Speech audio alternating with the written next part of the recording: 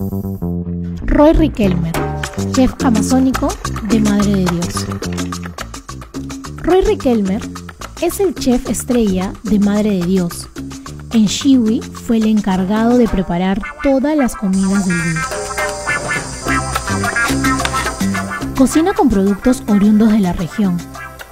Se enfoca en que los habitantes reconozcan los alimentos con los que prepara cada plato. Bueno, lo que yo estoy eh, difundiendo es mucho nuestra gastronomía amazónica, es eh, a través del plato contarles historias, ¿no? Entonces, ¿de dónde vienen las recetas? Porque detrás de un plato hay gente que trabaja con nosotros, ¿no? Por ejemplo, agricultores, hay comunidad, eh, hay historias. Actualmente, Roy está trabajando en su proyecto Conservando y Cocinando, el cual tiene cuatro años de creación.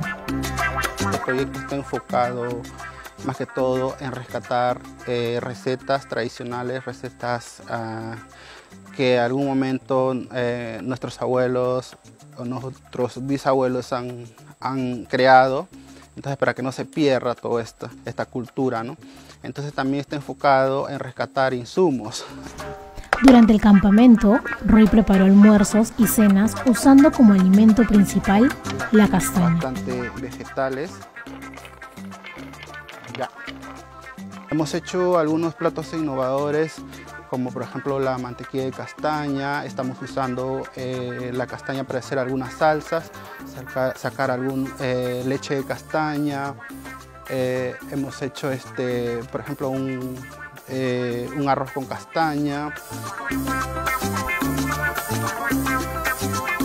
Al final del día, los mochileros quedaron fascinados con las delicias que preparó Roy y el sabor de la castaña se quedó en nuestros labios.